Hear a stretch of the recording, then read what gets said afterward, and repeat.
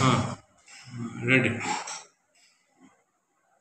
আমাদের আহ, দুর্গাপুজো শেষ হওয়ার সঙ্গে সঙ্গেই আমাদের আবার কালী পুজো এবং দীপাবলি পালন করব গোটা পশ্চিমবঙ্গ জুড়ে এবং গোটা ভারতবর্ষ জুড়ে দীপাবলি পালিত হবে।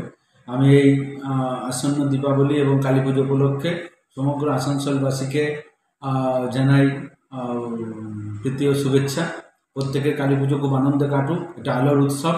প্রত্যেকের জীবনে আলো আহ, আলোয় পূর্ণ হোক প্রত্যেক জিনিস।